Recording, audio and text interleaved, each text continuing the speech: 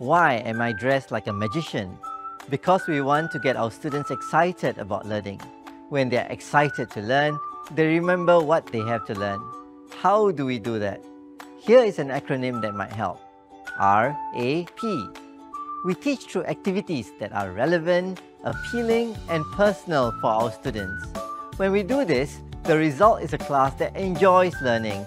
And when students enjoy learning, learning sticks. Hi, I'm Dr. Nazir.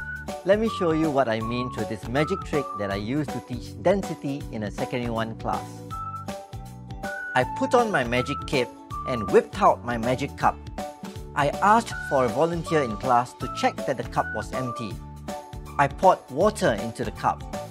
Then, I inverted the cup over the head of my volunteer. My students cried out in surprise. Was my volunteer drenched? No. Where did the water go?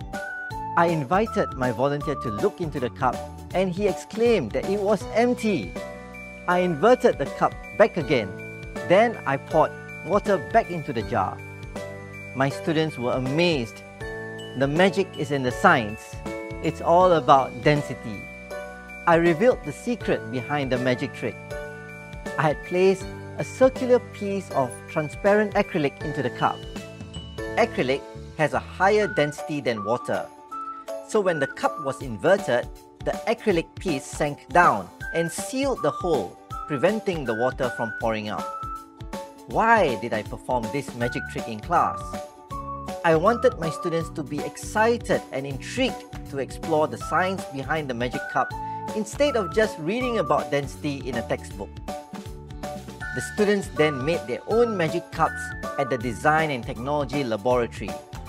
They explored using different materials, understanding how some materials float or sink and how that affects the magic trick.